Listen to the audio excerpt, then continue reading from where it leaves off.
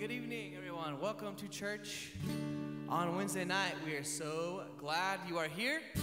Thanks for coming out. Come on, would you stand up? We're actually going to introduce you to a song that we're going to sing on Sunday. We've sang it youth a few times. Christina's going to help me introduce it. So you get a sneak peek, and it's going to be awesome. So it's called Whole Heart, and I encourage you to catch it to uh, sing along with us.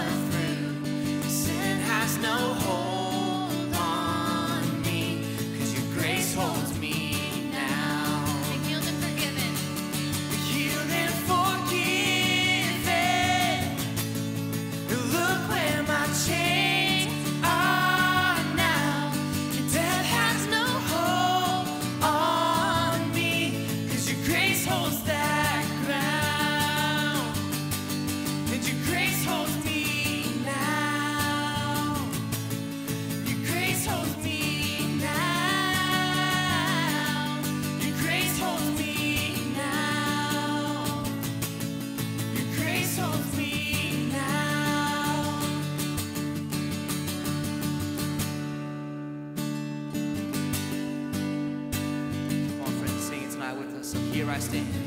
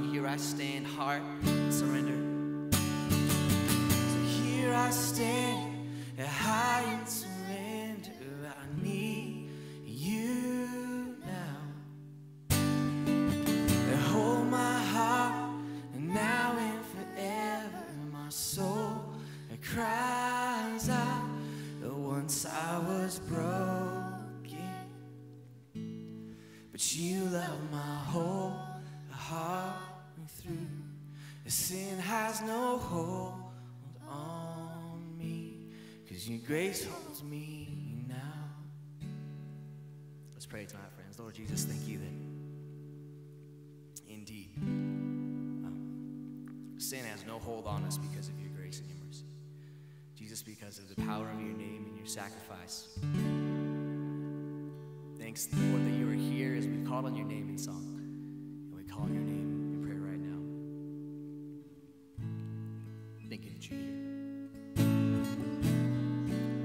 This midweek service, I pray that you would just let your people have a moment with you.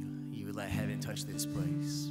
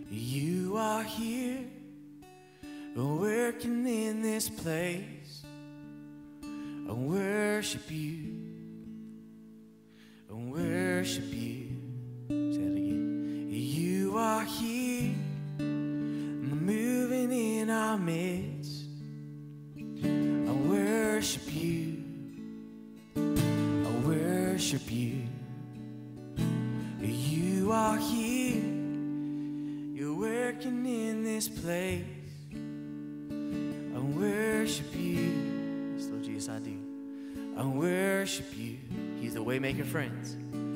Cause you are a waymaker, miracle worker, promise keeper, light in the darkness. My God, that is who you are. You are a waymaker, miracle worker, promise keeper, light in the darkness. My God, that is who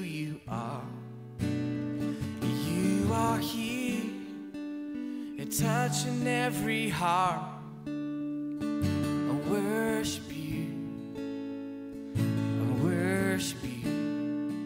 You are here, healing every heart.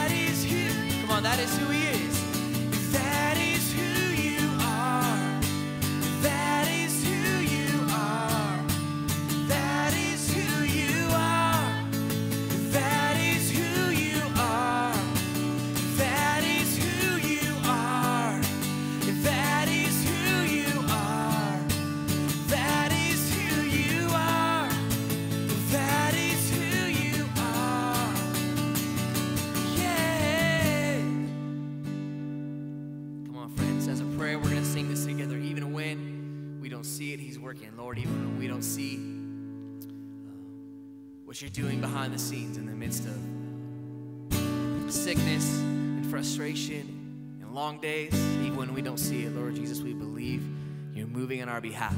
Would you let it be true in our hearts tonight? Come on, friends, even when.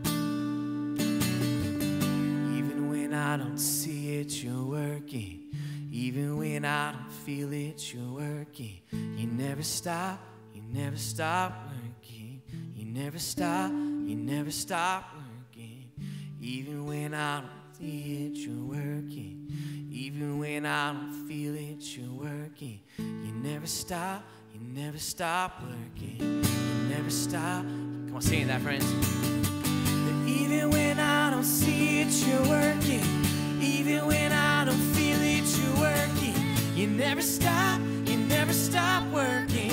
You never stop, you never stop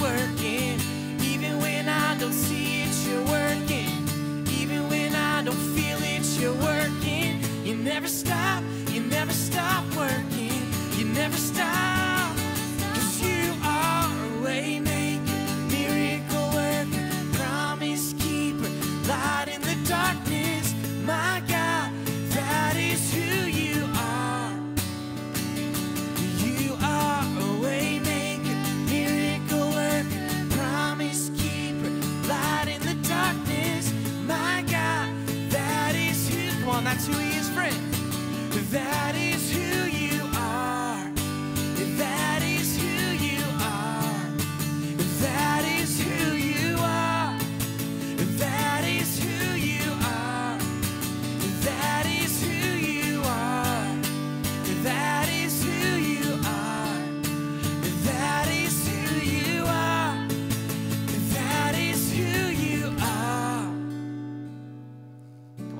Pastor Stan comes, our final prayer tonight. Waymaker, the miracle worker, the promise keeper, the light in our darkness. Jesus, would you give faith in our hearts tonight?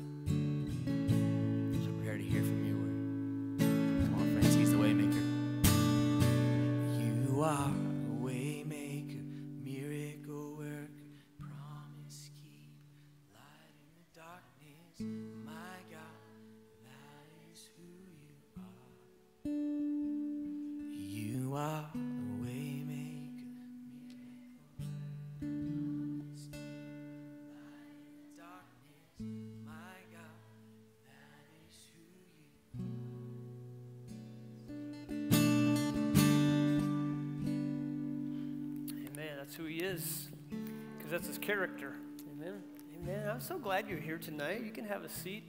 Uh, so good to be home. Amen. We had a great trip and uh, away from, I was telling some of my family here, away from internet and cell phone. Does that sound wonderful?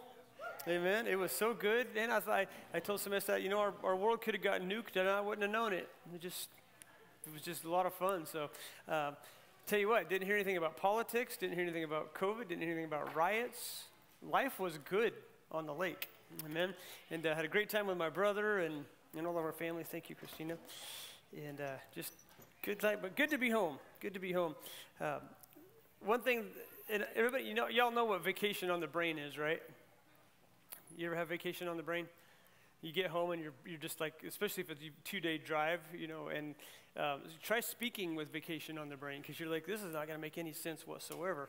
Um, but it's going to, I hope. So if you didn't get your notes, the notes are um, at the entrance back there by the hand sanitizer. And uh, so if you didn't get this, you can grab some. Uh, before we get into it, uh, again, just want to just say thanks for allowing us to go spend time with my family. Uh, many of you asked how my brother was doing. He's doing amazing. You wouldn't know anything was wrong. He was wakeboarding and surfing and driving the boat and being the captain. Yes, doesn't like I, I forgot about that because he, was the you know he's the captain of the, the houseboat, and so I just kept saying, "Hi, captain." Hi, Captain. And uh, I said, I never called you anything like that before, you know, Big Brother. Um, he acted like Big Brother sometimes, um, like giving orders. And I'm like, bro, give us like a second to do what you asked. Um, and so uh, it, was, it was funny. We had a, had a lot of fun. Uh, just a lot of cool stuff happened. Uh, beautiful, beautiful stars because there's no light pollution out there. Um, but a lot of fun. But I'm glad to be home, um, and I'm so thankful for you guys because you're my family that I that I actually enjoy coming back. Know there's a lot of pastors that they don't want to go back because the people are mean, um, and that is not the case in our church family. And so, thank you for being um, fun to come back to. Um, it was not a regret.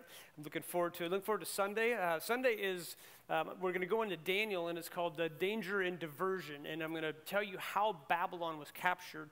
Um, and they, they captured it by diverting a river way upstream out of the sight of the Babylonians. And um, how in our lives, the diversion typically is something we don't recognize. Um, and so it's going to be a really, it's a historical, because uh, I love history, so I'm going to kind of teach you um, how, how not to let things happen in your life and how we can get so comfortable. Um, because cause King, cause Darius, the military guy, was seven years outside of the walls of Babylon trying to figure out how to get in. And, you know, seven years, you realize I'm impenetrable. You know, nothing can happen. Uh, but they didn't pay attention. And, and so I'm excited about Sunday and I'm excited about tonight. And so we're in Titus chapter 3. Um, the theme of this particular chapter is doing what is good. Um, and then I added to it, if you didn't see the Facebook advertisement, was dealing with uh, divisive people. And so I want you to think about somebody in your life that causes division, that maybe says things or does things that brings a division about um, in the relationship or in you know the organization in which you work or maybe even the church you go to. And the, are you glad when the Bible gives you permission on how to deal with it? The, the, Bible doesn't say, hey, you need to put up with it. There's times it says, no, this is what, ha- this is what you can do to the person that, that is causing division or causing a problem. I'm so glad the Bible gives us permission to not just ignore everything because the, the people that love to say, well, Jesus said turn, turn the other cheek, typically they're the problem makers, right? The, well, we're just supposed to turn the other cheek. Well, that means you're being a jerk. Uh, right? Because people that are behaving don't tell you that you need to turn the other cheek. Usually it's the divisive people. And so Paul is going to tell Titus, hey, here's what you do with someone who's causing division, because uh, the Bible gives you permission to deal with stuff and to not put up with stuff. And I'm glad for that. Okay? Because sometimes people think Christianity is just putting up with everything, and some people think love is overlooking. Okay? That's not the case. A lot of times love has to confront. So we're going to go through that a little bit. So, all right, well, let's pray and we'll get into it. So, Father, thanks again for this day. Thank you so much for my church family. Thank you for those who've tuned in online, or maybe will be watching this later, and that you would touch our hearts. Um, what we really want to do is become more like Jesus. That's really our heart for tonight, is that we become more like you, and that we would treat people the way that you want us to. Um, and if there's divisive people in our lives, help us to know um, that we don't have to put up with it. There's a point where we just separate because it affects us. And I just ask again for the grace that, that we need to have towards those people that are that way. And we love and give you thanks for that. In Jesus' name, amen. Grace is an amazing thing, isn't it? Um, I don't know if you, did anybody notice the crosswalk got whacked out here? Okay, they put up a new one today. I mean, it was pretty amazing. Um, I have the video of how it happened. I'm not posting it though. That's so if, so if you want to see it after church, I have it on my phone. Um, and, uh, and I'll tell you why I'm not posting it. So it was actually a dump truck. They were doing a lot of construction, and the guy had his bed up and he was driving. Um, so I was in studying, and I hear this semi truck go by, and then I hear this metal clang, clang, clang, and I'm like, that wasn't natural.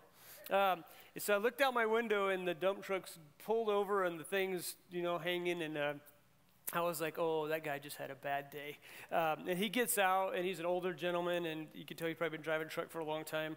And he's just standing there, and my heart broke. I thought, this poor guy. I mean, he's just on his day's work. I mean, he's just working and, you know, just forgot to put the bed down. Um, but the reason I don't post it, because I really want to, was my heart is not to embarrass the person. Um, and, and I think it would if, if it got out there. But our security camera caught it. And uh, but my, my heart broke for him. I was like that poor guy because you know you went from having probably a pretty good day to a really bad day really fast. And and the, the whole thing is is we always are going to make mistakes like that. We're all going to do things we're like what was i thinking? Clearly i wasn't um, or distracted or whatever. And, and so tonight we're actually going to talk about grace a little bit. What is grace? You know grace for one thing it's not deserved because if we deserved it, it wouldn't be grace. Grace, grace is given when you don't deserve it. So the question is, is how graceful are we toward others? Even for somebody who doesn't deserve grace, um, it wouldn't be grace if it was deserved. Grace is given when it's not deserved. You know, for me in my life, God forgave me of my sins, um, not because I deserved it, but because He loved me. I was the one driving down the road with the bed up and whack, you know. Um, crazy thing. So let's get into this. Uh, verse 1, chapter 3 in the book of Titus. Um, if you haven't been a part of this study, uh, Titus is a pastor, um, a young pastor in a tough place, and the Apostle Paul is mentoring him. Uh, Titus was kind of a tough guy because he got put in a tough place, whereas Timothy uh, was a, a, little more Timothy-ish. I don't know if your name is Timothy. Um, there's some tough Timothys, and there's some Timothy that may just be a little reserved. And um, this Timothy is a little bit more reserved, but Titus was like, okay, Titus is going to go to, let's say, Compton, all right, or a place I've never been to, but I've heard about.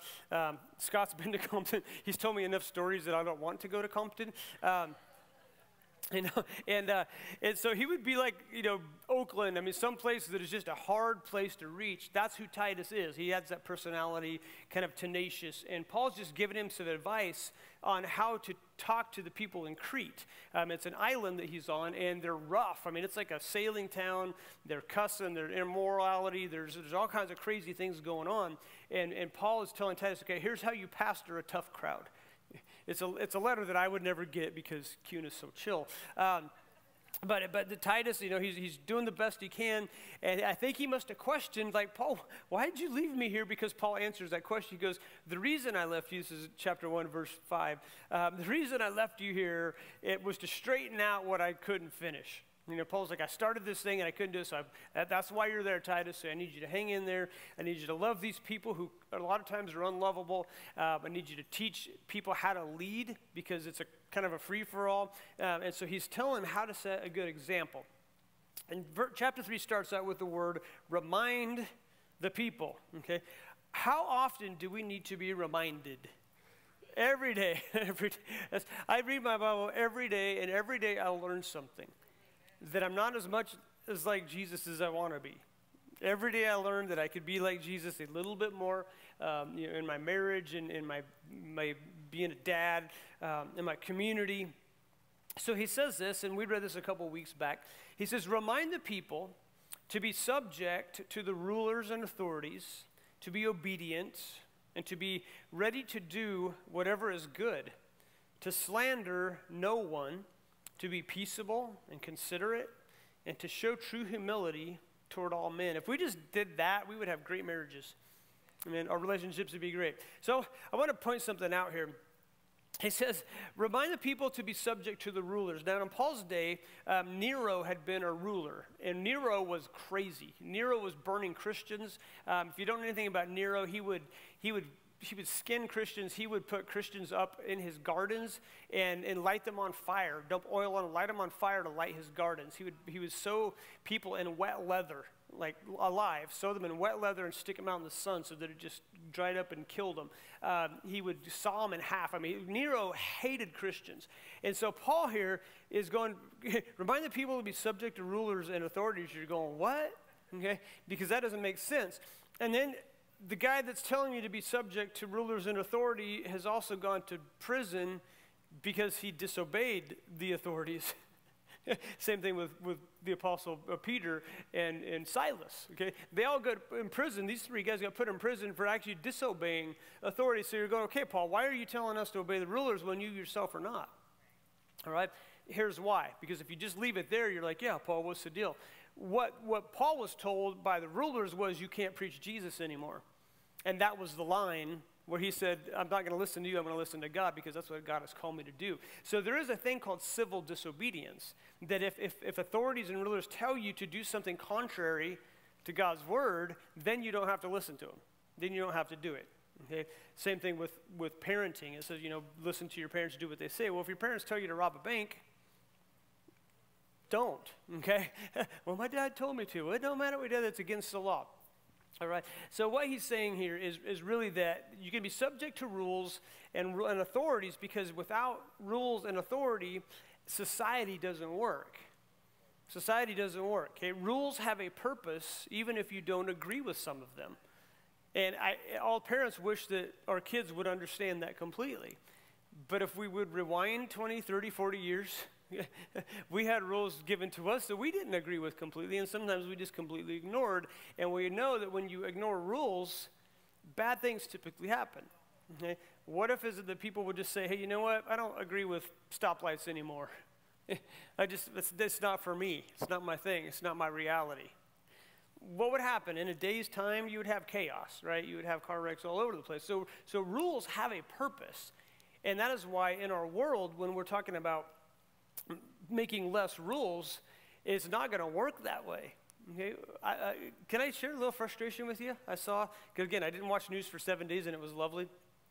I saw a guy yesterday, and I don't even know how it came up on my Facebook feed, and he was he's from Somalia, and he moved here, and barely speaking, but he's I think he's in Seattle or Portland, and he's he's he's moved here, and he's criticizing American law enforcement. I'm like, bro, you can fly back, right? I mean, that's like, if you're going to move from a country that's crazy, and then you're going to tell America how to run their country, I'm like, that, that doesn't jive with me. I'm like, that, wh- why would you say that? Because Somalia is crazy. It's ran by warlords. Why? Because they overran the authorities. And so it was like this oxymoron, you know, and I think the guy meant well, but, but for him to, to come and criticize our law enforcement and how our government's running the country, I'm just like, that, that, that there's no logic in that because you, because you came from a country that is run by warlords. So why would you you should be like, no, America's great. It's not perfect, but it's great. So it was just this really weird thing that hit me, hit me kind of kind of strange. Um, it, but anyways, that's that. All right. Rules have a purpose. Um, if you don't, even if you don't agree with some, they have a purpose. Um, if they go against the Bible, you don't have to obey. But rules in general, we need to obey. Okay, but we have to have authority in our lives for life to work. Um, New York City. Okay, I've seen some recent pictures where it was used to be um, defund the police. Well, the new ones came out. This is on MSN. I'm not pulling this up. I'm not googling things. This came up on MSN. Well, now it's abolish the police. I have I have I took pictures of it because I'm going. Okay, abolish the police was one sign. Abolish the police. The next sign was abolish prison. Yeah, they're holding signs up. Abolish police, abolish prison. I'm thinking, if okay, if you abolish prison and you abolish the police, who's going to rule New York City? and my brain is going, where's the logic in this? Where's the logic? Do, do, we really think people can just govern themselves and if we get rid of police departments and authority, then everybody will just get along? No, because somebody's always going to be the leader, okay? It, it, it's usually somebody like Saddam Hussein or Hitler that they will just take control by what? By guns and, and violence. Um, so, uh, what Paul is saying here is that we have to have rules for society to work we have to have rules in our Christianity for Christianity to work. Okay? The Bible, is it, a, is it a big set of rules? Yeah, pretty much. And if you do what it says, life will be pretty much peaceful. And God does not give us rules to ruin our fun. He actually gives us rules so that we can have fun. Because joy is a thing that a Christian should have. I mean, how many people do you know that are Christians that are just not joyful? They're not happy. That's really unbiblical, right? I mean, Think about how many people you know that, that are Christians, but they're just, life is just always bad. That, that's not anything that I would want if I was a non believer. You know, if I came down as an alien and I, I looked at Christians and went, wow, they're not happy. I don't really don't want this Jesus they're talking about. But if I met Christians that were happy, still going through stuff, but they're making it, I would be like, that's the Jesus I want. And so joy is a part of that. Um, again, if we, if we obey, typically, life is pretty good. All right, so motive and respectfulness really does matter. So when it comes to laws and authority, if, your if your motive is right and you have respect, okay, you can disagree with, with something and be respectful. You just can. If you disagree and you're angry, things typically go bad. You could disagree with a police officer that pulled you over for something you may, may not have thought you needed to be pulled over. And if you were disrespectful, don't expect him just to go, Oh, I see you're offended. Have a nice day. Drive on. right? He's going to start searching your car, right? Because you get this attitude, okay? And, and I tell you what, if you just show respect, life will be a lot easier for you. Motive and respectfulness matters, um, even with your parents. If you still live with your parents and there's something you disagree with, if you're just respectful about what you feel and, and like, hey, can we talk about this? Because I'm not seeing eye to eye here for one thing, if you're still living with them, you probably should see eye to eye. Right? right? If you're still under their roof, eating their food, sleeping on the couch, playing their video games. Your parents probably don't have video games. All right, because you can live with your parents, and that's cool. I did after I got out of college and had my first job. Um, but I'll tell you this I, I, worked for rent. I mean, I fixed chainsaws and I did a lot of stuff, helped around the house. Um, it wasn't a mooching thing at all. So there's times that you need to do that. There's times that it's, it's, it's definitely okay. Uh, when we moved back from California here and didn't know what to do, we lived with my parents with two kids. That was hard. It was like, yeah, we after four months, we're like, we really need to find a place, okay? And then the church came open and we got it, and the rest is kind of history.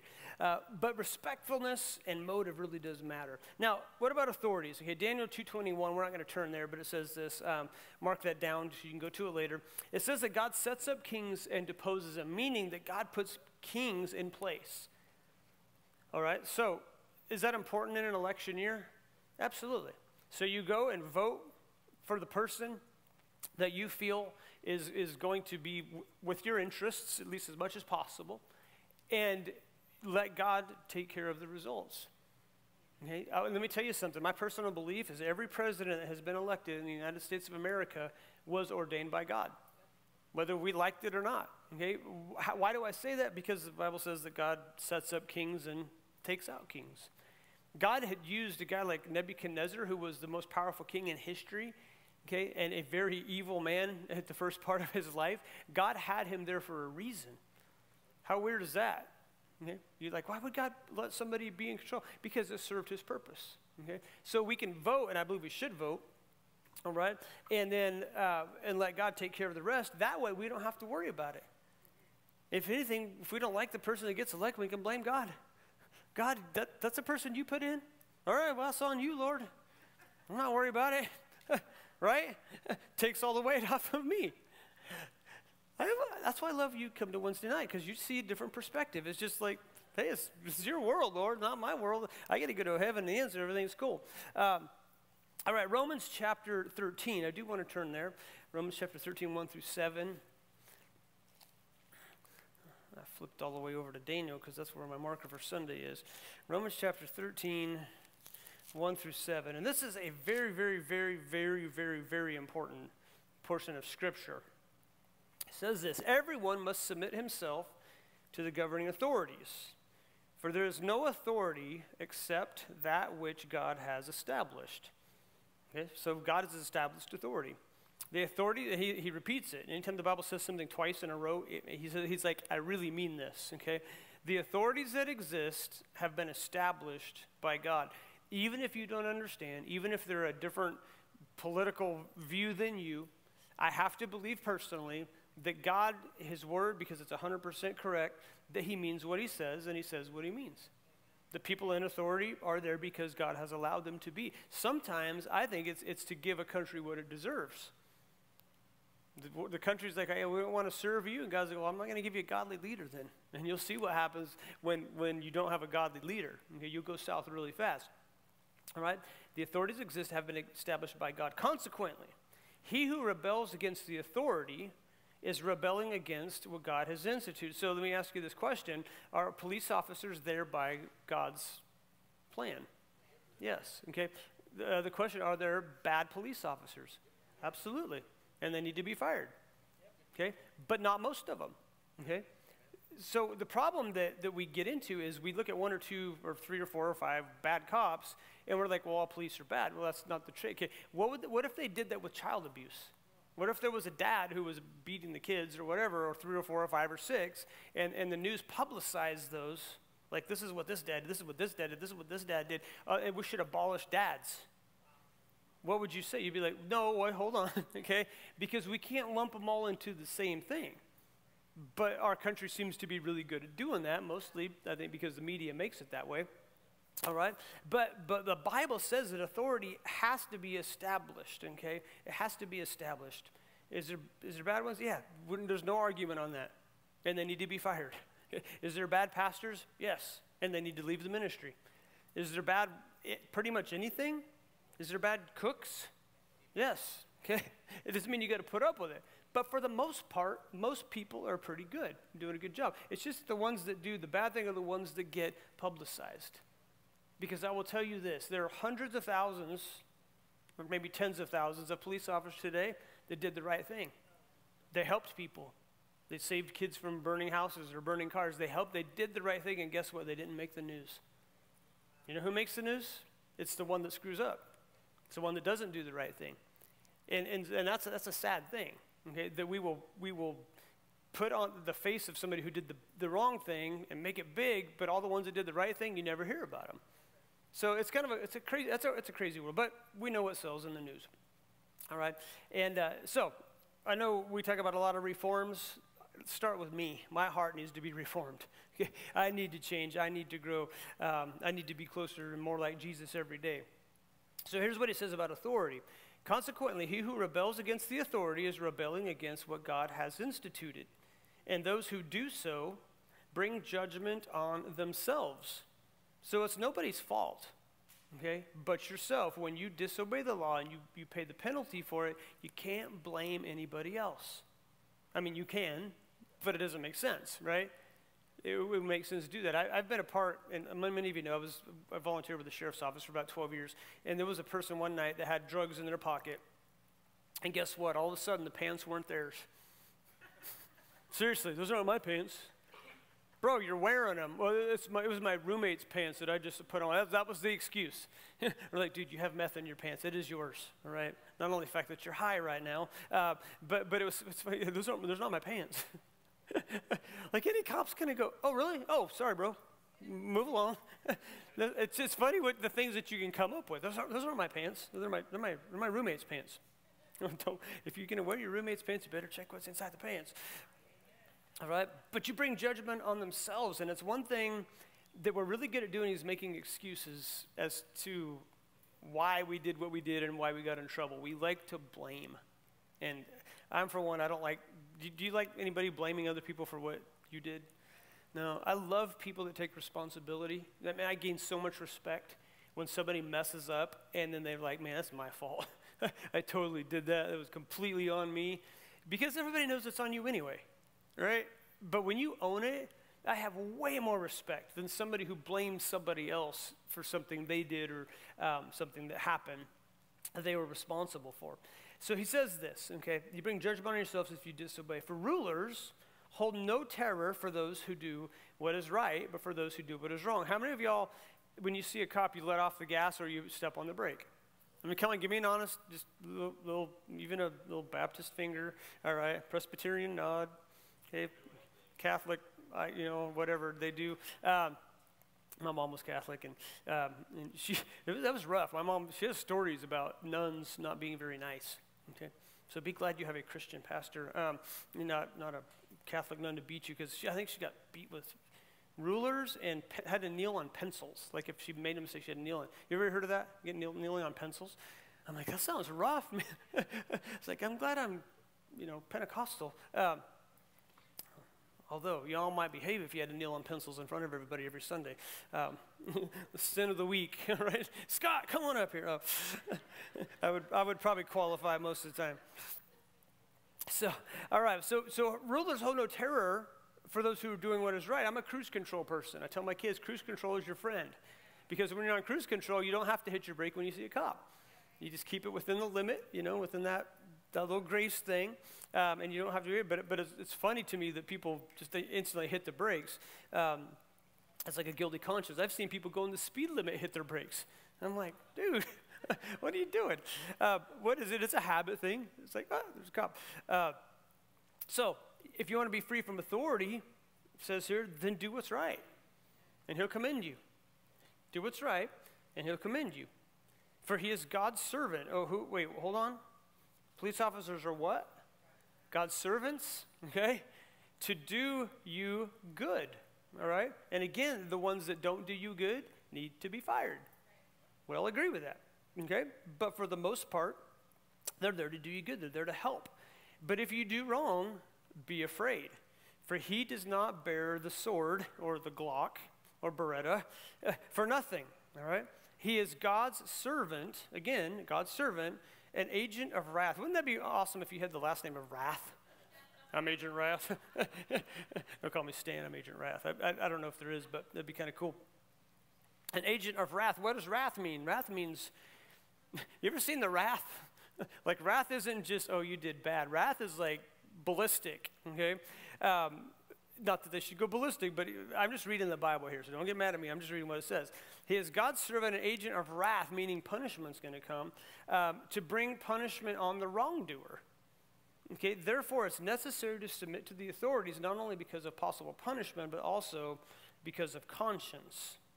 Okay, because of conscience, just to do what's right because God has asked us to do what's right. So rules are there for a reason. Um, law enforcement is there for a reason. It, it protects you way more than you think it does. Because there are evil people out there who would be more than happy to kill you, to take your stuff, to beat you up, to rape, to pillage. I mean, they, there's, there's enough bad people out there that if there was no law enforcement, you wouldn't sleep very good at night. Okay, so we need to be thankful for the laws. We need to be thankful for law enforcement. Why? Because it's, it's given by God. Again, and I don't want to hear that, well, there was that one. No, I know, I, we get that. All right, I'm tired of hearing of the one or two bad ones.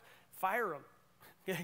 But most of them are good. And so we have to be very careful as Christians again, to, to think that authority and abolishing the law or law enforcement is a great idea because it's not. It's not. Okay? People can't govern themselves very well. God establishes authorities. We need to do the best we can to respect them. All right, uh, back to voting. Voting, let God take care of the results. It's actually exciting, I wrote here, it's exciting to see what lies ahead for America because we're in a weird place. America's in a weird spot, um, but it's all playing into God's plan for us. And that's why I say, man, keep your head up. Your, your best days really are in front of you. As a Christian, life might get hard for a bit, but in a matter of years, maybe months, maybe days, maybe weeks, who knows, life is going to get great. And when we get to heaven, when we pass from this body to eternity with a new body, six foot two, 185, ish, right? 10 toes. Or maybe everybody will have nine. You don't know, all right? We get these perfect bodies, and life is perfect. Life is perfect. Guys, that's what lies ahead of us. Sometimes we forget that. We forget, well, you know, this Christianity thing, but that's really, if you're right with Jesus, that's what lays ahead. If you're not right with Jesus, the Bible says the hell is, is coming, and, and you don't want that. So if you don't know Jesus, if you never accepted him, tonight is a great night to accept Christ, to accept what he did on the cross. Okay, he gave us grace when we didn't deserve it. We deserve punishment, and he offers us salvation from hell for free. All we have to do is accept it. Say, Jesus, please forgive me, come into my life, be my Lord and Savior. That is your ticket to heaven right there. It's that simple. I mean, the God that is so big, that has made so much in this universe so complex, the simplest thing is salvation. Because all you have to do is ask. I mean, you're talking four seconds to pray a prayer, and eternity is good. Isn't that cool? I mean, the God who made the molecules in your body that are doing things right now that you don't even know about, that, that created the universe, he made salvation about as simple as it could be. Isn't that cool? And then he's got heaven. Oh, you can't wait for heaven. I mean, you know, there's a movie I think called Heaven Can Wait. Not if you've been there. I haven't been there, okay? Because if I was there, I wouldn't want to come back. If I went to heaven, I'd be like, God, can you just send him another pastor? Because I really like it here. I love him, but Lord, this is good. Heaven is going to be amazing. It really is. So keep your head up. Keep your head up. All right. Obey God's law and be ready to do what is good. Okay. Uh, Proverbs 3:27 says this: Do not withhold good from those who deserve it when it is in your power to act. I love that verse uh, because that's really what a Christian should be uh, is a person who looks for ways to bless people. And there's a lot of times, I know a lot of Christians that want to get their life together before they can feel like God can use them. And that's such a line of baloney. God does not wait for you to get your life together before you help people. Okay, what God wants you to do is you start helping people and then you try to get your life together as you go. But the fact is, guys, we're all messed up. We're all, we're all so messed up. Um, we, we might think we're not, but if, man, if our dirt and our thoughts got posted every day, we would go hide in the hills away from internet. Like, we'd be like, yeah, I'm not that good, okay? Because a lot of times we do this compare thing. And I don't think that God compares. I don't think he looks at, you know, you're more saved than you. You know, God might say, no, you're more obedient than him. My parents had that growing up, my brother was more obedient than I was by a, a long shot. Um, now, he did do sneaky things that they didn't know about, where I would just admit it. They'd be like, Who threw the rock through the window? That's me. Good shot, son. Not really, but. Um, but that's honestly, my dad said you were honored, but you always admit it. He said you were like, you like you were honest to a fault. Um, he reminded me on our trip that I actually put dirt in one of his vehicles um, and ruined the engine. Thanks, Dad, for bringing that um, memory up. Um, but, uh, but I actually did that, and I kind of forgot about it. And then I was like, shoot, I did do that. And that wasn't the only time that I put something in a gas tank. wasn't the only time I put water in my uncle's 280Zs. I, I tell you that story. He got a new 280Z, and I put the hose in the window and turned the water on. Brand new 280Z. Yeah, when he opened, I thought I was washing it. Like, that's where my OCD came from. It was dirty. It probably wasn't because he kept his stuff clean. But I seriously, when they opened the doors, water came out. That's how much water was in his tube. So that's the kind of stuff I did as a kid. I just, I was like Dennis the Menace. I just didn't, like, this, you just do stuff like that. And I got a lot, lot more stories. But so thankful for mom and dad that were graceful. I mean, they still punished me, but they were graceful in that. They still encouraged me, but they still punished me. And that's how God is with us. Okay? He doesn't disown us when we blow it, He loves us. Okay? He'll discipline us. Why? Because He wants us to do what's right. Because when you do what's right, life turns out a lot better.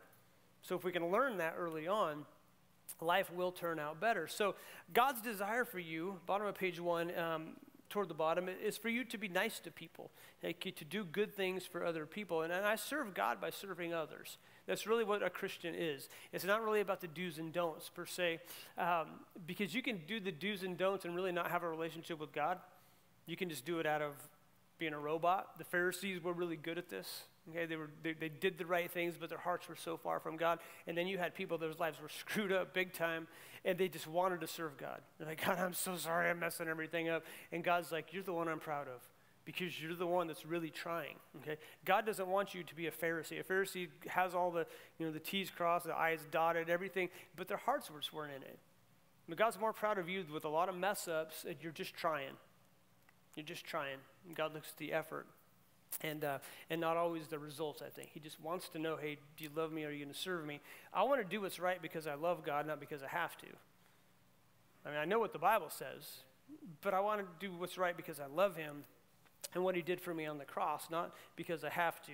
But I serve God by serving other people. Verse 2, can we skip it? Can we skip verse 2? Because I really like to talk bad about people. It's so much fun. Wow, y'all got really quiet, huh? You, I'm not. I'm trying not to, but let me tell you, isn't it fun to slander someone? Yeah, it is fun sometimes. You're like, you wouldn't believe what this guy did the other day in a truck, man. He posted on Facebook. Look what this dude took out the thing kind of would be slander, right? But we talk bad about, we talk smack about people. Don't y'all look at me like you don't. I know y'all do, right? But there's something fun about pointing out somebody else's fault, right? Okay, come on, talk to me. Let's not get religious here. If I, you know, I, my life's pretty much together, and if I enjoy it, I know you all have to enjoy it. Slandering can be fun, but it's bad. Isn't it terrible that the bad things are the fun things? It's like we want to slander. We want to talk about people. We want to go, I can't believe what they did. I can't believe how they, you know, we want to do, and, and here he says, because I just want to skip over this one, he says, don't slander people. Don't talk bad about other people. And it is so hard. Okay? I'm glad that politicians don't do this in today's generation. I'll pause for station identification and a drink. Guys, I get sick of both sides of the aisle slamming each other. I really do. I'm a Republican, but they both sides talk smack, you know. And I'm and I'm thinking back, did President Reagan ever do that? I don't remember President Reagan ever bashing people. In fact, I, I think he gained respect because he didn't do that. I mean, I don't I don't remember. I mean, I remember him because I was a child of the 70s, 1970 to be exact. But but I don't remember President Reagan just blasting people or slandering. And I think that gained him a lot of respect, okay? Because the Bible says that when people talk bad about you, to bless them. And that, that still works today. Now, I know we, it's like a, we're like a slime society. Everybody slams each other. And I think it'd be better off to just take a biblical approach and just not even say anything if you don't have anything good to say. Just let it be, okay? And uh, y'all get y'all sick of politics too. Okay, like I said, both sides of the aisle are doing it. I'm, my mind is like, guys, can we just be mature? Can we just, you know, just be mature? That's, that's what I'm at. So, anyhow, let's move on. You can share your opinion, okay, bottom of page one, but be careful that it doesn't turn into slander, okay? Often we're better off not to share our opinions about someone. Uh, you can respect an office without agreeing with the person who holds the office. You, you respect the badge without the person that's wearing the uniform. You can respect, you know, a parent without really liking them that much, or your boss. You know, there, there's a level of respect you can have without slandering. Um, we don't like to be slandered, and we shouldn't be a slanderer. So be peaceable. My left leg is going dead, so I'm going to stand up for a second. This happens when you don't preach for a week. All right. Be peaceable, okay? Remember that you bring gas or water to every fire. In any confrontation you might have, you have a bucket of gas and you have a bucket of water. And you choose which one you throw on it. You ever done this in marriage? There's a little ember burning. you got a choice, baby. Y'all have a choice. Fire, boom, water. Let's see, what do we do here? Okay, don't slander. What's that? You say grease fire? yeah, you throw water on it, right? that would be sky. Yeah, okay. gas might put a grease fire out. You never know. Uh, but, but you don't throw gas on a fire and expect it to go down. It goes bigger. And, and when we slander or when we are not peaceable, we, we can throw gas on something that we need to be putting water on. So he's saying here again, don't slander, talk, be peaceable. Be considerate. What is considerate? Considerate, um, actually, I got ahead of myself. Let's go back to peaceable. Page two. Um, my way isn't the only way. We have to remember that. My way is not the only way. Now, God's way is the only way. Okay, and if my way is God's way, then my way kind of is the only way. Jesus is the what? The only way. The Bible is very clear about that. And you know what's kind of interesting to me is people that have a problem with you actually believing the Bible and you're a Christian. Like, what, shouldn't a non Christian expect you to believe this 100%? I mean, this is 100% God's word. Everything in it is true. And yet, there's a lot of people that have a problem with you as a Christian who claim to believe the word of God that you actually believe the word of God 100%. Is that messed up thinking? Because I will tell you something. I, if, if I met a Muslim and a Muslim didn't believe the Quran, or at least most of it, or I would be like, you're not a very good Muslim. Yeah. Well, I, I, I, agree with most of the Quran, but somebody would be like, you're not a very good Muslim. That's how I would look. So you're not a very good Christian if you don't believe all of the Bible. You don't get to pick and choose what it is that you believe and what you don't believe. I don't look at my owner's manual of my Ford pickup and go, yeah, I don't agree with this, ripping pages out. right? You would go, you're ridiculous. That's crazy. And yet we, we want to do that with God's word. Well, God's word is 100% true or it's not. Well, it is, okay? And, and if I'm wrong, so what? We die and go into oblivion. But the thing is, is I know I'm right because God's word is right. I'm going to choose to believe God's word, and, and I'm going to believe it 100%. Not 99, not 99.9. I'm going to believe every word that I say, okay, this is what it says, this is how I'm going to live. Um, and I've had some good conversation recently with some people about what God's word really says. And these are Christian people, and they weren't exactly sure what God's word said about morality. And I said, well, morality is this morality is, is any sexual behavior outside of a marriage between a man and a woman is immorality. That's what the Bible says. And, and as a Christian, I hope you respect that I'm believing what the Bible says, because if I didn't, I'd be a hypocrite. And it's one thing that non Christians don't like is hypocrites. So again, sometimes you just have to say, I need you to respect the fact that I believe this 100%, even if you don't. Because again, if I met a Muslim and they were like, yeah, the Quran's, it's all right, I'd be like, you're not a very good Muslim. Does that make sense? So as a Christian, we have to have that same thing. If you're a Dodger fan, but you're wearing a Giants hat, I would be like, you're not a very big Dodger fan, are you? Oh, no, I'm, you couldn't be, right? It's like a, couldn't even, except for me. I actually like watching the Dodgers play because I, I, like watching teams that win. Um, yeah, but I like watching them. All right, it's it's fun. But I'm not a I'm not a rabid fan. All right, I, I love baseball. I enjoy watching it. So one of oh wait, let me get back. I'm I'm kind of getting off track here. Let's get back to page two. Welcome home, Stan. Welcome to the jungle. All right. I told you vacation on the brain. By time by Sunday, I can't blame vacation. Okay. We often create tension in our lives by having expectations that are too high. When is the last time you did that? You had these expectations and they didn't get met, so then you got mad. or you got you got upset, you got quiet. I, I had a few of those. Okay, I, I knew on our boat trip when you put 22 family members in the same boat for seven days, you're gonna have some issues, and, and you know that going into it, and yet they still happen. Why? Because even families that love each other are gonna have some differences. Okay, I got sick of picking up Capri Sun wrappers and things. Like every day, me and my younger brother, I, I have to say my younger brother, I, can't say my little brother because he's a lot bigger than me. Uh, we're picking up these Capri Sun things, and we're like, who's doing this? And finally, my brother picks up the whole case of Capri Suns and he locked them away in the storage thing and hid the key. He's, he's like, this is not happening. Well, then we kind of figured it out. Um, and, and so that was kind of our little running joke was Capri Sun wrappers and Capri Sun containers that were empty laying on the floor or on a table. Uh, and we knew who the, the culprit was, was the captain's daughter. The question is, he has two daughters, so you're going to have to figure out which one it was. Um, okay, no big deal, but it was just like this running joke. I'd walk by and go, hey, Brett, somebody left something for you. Like shaking his head. Or you're going to have little ten- tension things that's going to that's gonna happen in your life. But here's the problem is we create tension oftentimes by having expectations that are too high. Now, it is not wrong to have expectations. You should have expectations.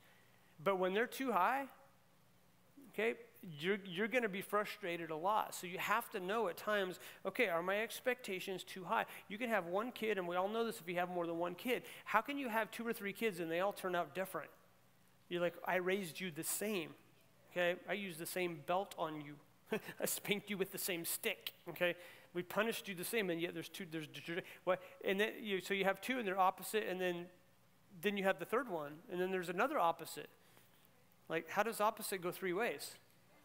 It can't, but it does. Okay, because of different personalities. So if you have expectations that your first kid, okay, you raise your kid the first way, have the second one, and all of a sudden they're different. If you have the same expectations, you're going to be very frustrated. Okay, my older brother Mike, the doctor, he, he's super super smart. I struggled in math. I mean, I didn't like math. I just didn't like it. I liked engines. I love fixing things. I could tear stuff apart, and and uh, he can do that now. But he wasn't very good at fixing stuff. But I was like the fixer type of person, and so my parents were very fair in how they raised us because my brother was doing calculus in high school, and I'm still in bonehead math. And I'm like, I don't know, get it. I don't understand. And what I found was is that your brain has to think a certain way for math to work. That's just how it is. And so uh, my parents, man, they did an amazing job parenting us with the level that we were on and with our strengths and with our weaknesses. Um, in the same ways in our relationships, that we have these expectations that oftentimes are just unrealistic. Okay? We all have them, but we have to know which ones to lower. Again, at the same time, there's expectations that need to be there. Okay? I mean, I didn't expect to, for kids to be laughing and playing in church that we just experienced. But you know what's great? They're here. And I love laughter. And what did I say when I opened up? We should have joyful Christians. If we get angry at some teenagers having a good time at church, we have problems. Right? So to me, that's a beautiful thing. Now shut up and go in the other room. No, uh, all right? but isn't that a beautiful thing? I want a teenager, I want a group of teenagers to come to church and laugh and have a good time. That's, that's what should happen here. Amen? So joy is a great thing. So we have these expectations that we can really, really, really blow up if they're too high. Uh, we get annoyed when expectations aren't met in all areas of life. Um, we don't like it when our teams lose. I think God made us that way. if you know of anybody that likes their team to lose, you have issues. I'm like, you need to go to counseling or something because all of us like to win. Okay, we're made in God's image, so liking to win isn't a bad thing. That's why we're on the winning team. As Christians, we win in the end. I saw the score. I peeked. I looked Revelation, we win. Okay, and we win by a lot. There's not this huge raging battle. God basically goes, Are you coming against me? Boop, boop, gone. There's no battle. Okay? It, the, the battle of Armageddon is not a battle. It's just a That's all it is. all right? It's not like, well, and Satan raged war against God. No, Satan came against Israel, and God goes, out, ah, you're done. Boom. Read it. It's in there. Okay? It's a unanimous victory. It's not even close. It's actually not even a battle. And I'm glad I'm on the right side. All right? Be considerate. What does this mean? Being considerate. Think about other feelings in the matter. Man, this is a hard one. This, this one's I struggle with this one sometimes. Okay, think about others' feelings in the matter, especially in a marriage. Okay, if there's some frustration, if, if you can, even if you don't quite understand, if they at least know or at least acknowledge that you're frustrated with something, one of the best things I can hear my wife say if I'm frustrated, if she can just say, and she says this, you know, I can see how you feel that way.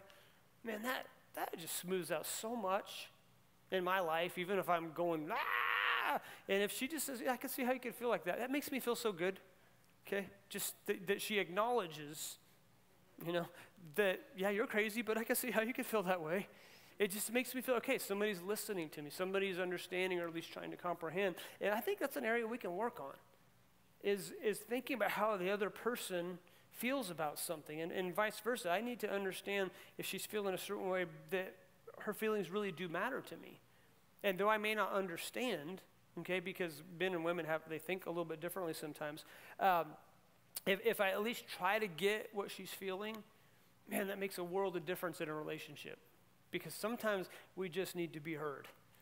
Sometimes we just need to be heard. Even if we're wrong, we just need to be listened to. We just need to be acknowledged like, yeah, I can see how you feel that way. I can see how you felt disrespected by your son or your daughter or your boss or whatever. Um, and here's what I know God does God, He considers our feelings in the matter. God is so good at that. He looks at our reaction and, yep, going crazy again. But I get it. They're frustrated. God is so graceful to us, guys. He's so graceful. Even when we're going crazy, he's graceful. Why? Because he does consider our feelings in the matter. Think about how what you do or say is going to affect other people. Okay, Jesus definitely considered what would happen to us if he didn't go to the cross.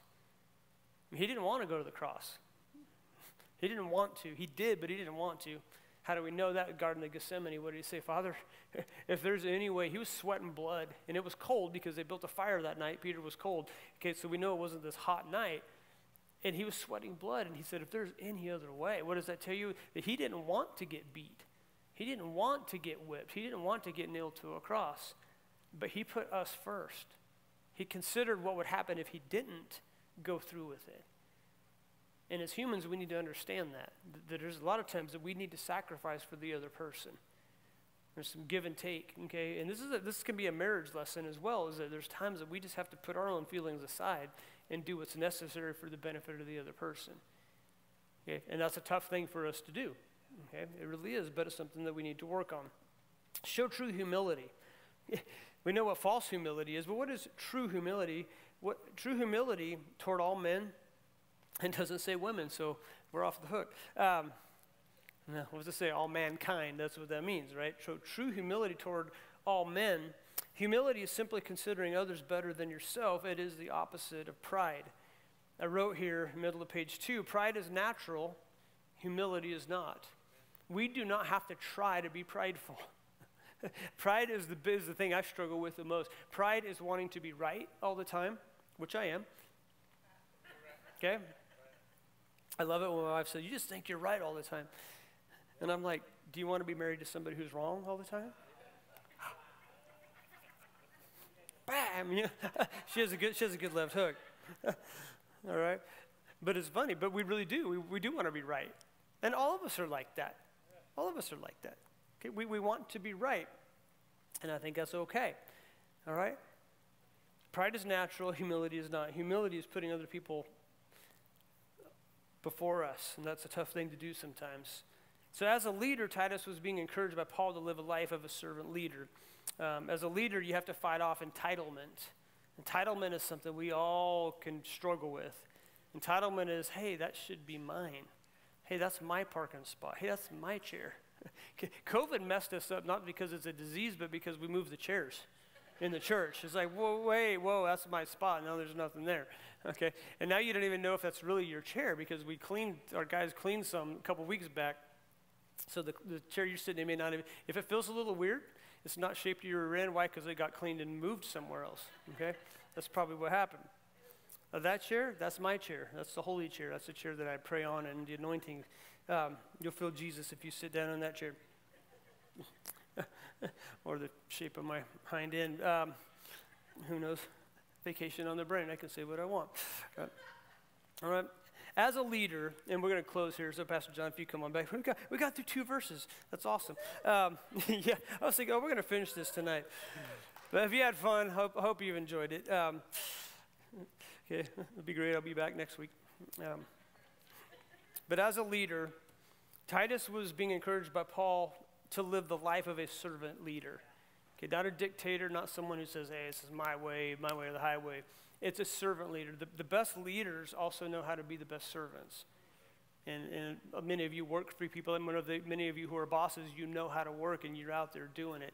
Um, Charlie, Charlie Long, the manages Ridley's man. He's one of the hardest working managers I've seen. He's out there throwing freight and doing all kinds of stuff. He's not afraid to work. Okay, and I love that about him. Okay, that means a lot. He's, he's a great, great Christian guy, good man. All right.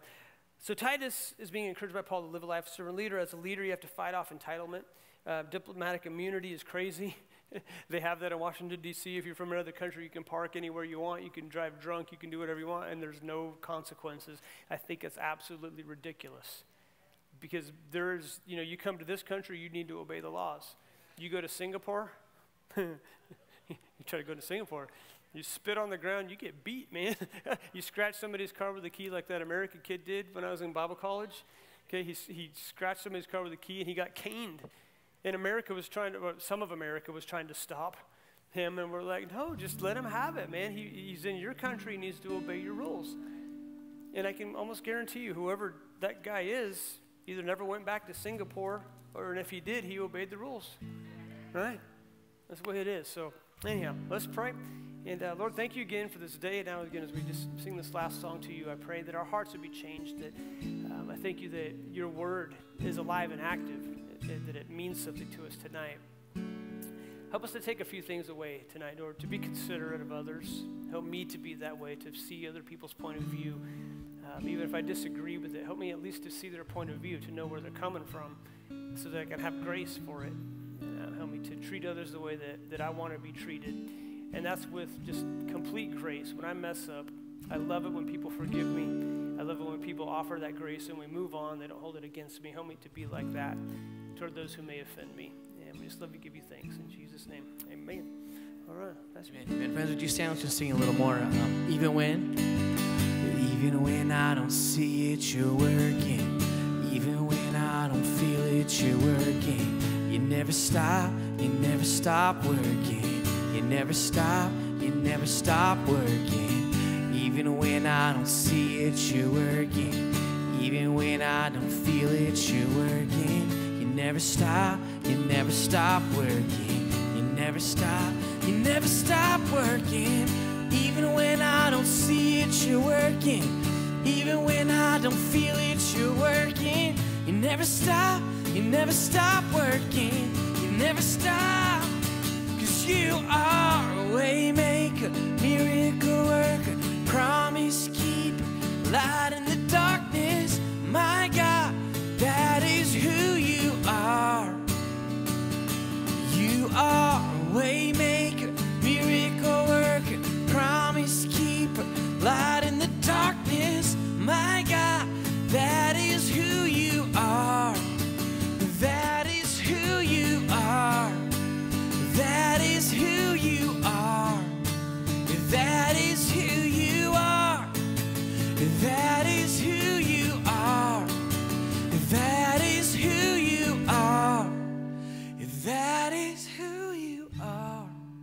That is who you are. That is who you are. Sword in faith, our final chorus, Waymaker. Cause you are a waymaker miracle worker, promise keeper, light in the darkness, my God, that is who you are. You are a waymaker, miracle worker, promise keeper, light in the darkness, oh my God, that is who you are. Here's where we believe those words that as we walk out of this place, that you are the waymaker and you're moving on our behalf. Lord, thank you that your word is alive. And it's alive in us when we read it and we hear about it, we talk about it. And I pray that it would go with us from this place, that your grace and your mercy would guide us every moment. Lord, you'd speak to us uh, every day between now and Sunday. And bring us back here safely Sunday with stories to tell of what you've done. Pray this in your name, Lord. Amen. Friends, thanks for coming to church tonight. See you Sunday, at 9.30 and 11 o'clock.